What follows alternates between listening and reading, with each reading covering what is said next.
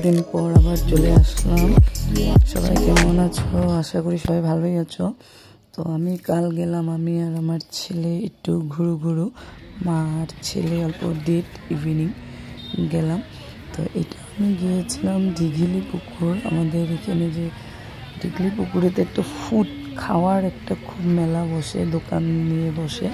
তো ওইখানে তো ওই ঘুরতে আসলাম মা আর ছেলে। এটা দেখতে পারছ, একটা পিৎজার দোকান। ছোটো মোটো এখানে পিৎজা পাওয়া যায়। তারপরে আমরা এই খাওয়া দাওয়া করলাম, করে তারপর পিৎজা, মোমো আরও বেশ কিছু জিনিস খেয়ে ঘুরু ঘুরু করে মা বিকালটাতে সুন্দর করে আবার চলে আসলাম। দেখো তোমরা, এই ফার্স্ট খেয়েছিলাম আমরা মোমো। মোমো মোমোর পর খেলাম handi pizza.